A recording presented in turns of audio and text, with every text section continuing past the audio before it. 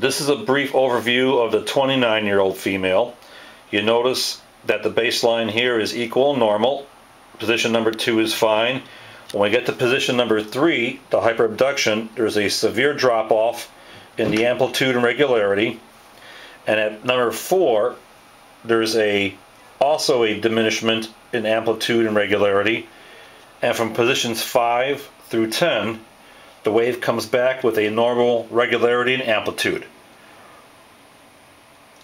What this tells us is that like the other patient, at position number 3, where we have her hand above her head, she also has a hyperabduction type syndrome of thoracic outlet.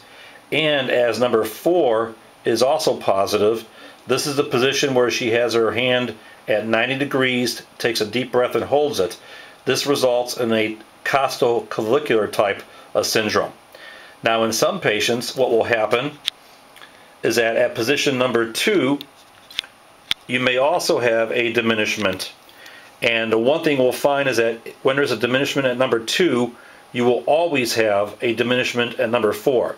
The reason being the difference between these two positions at number two, we're having the patient breathe normally. At four, it's in the same position, but the patient now is holding her breath.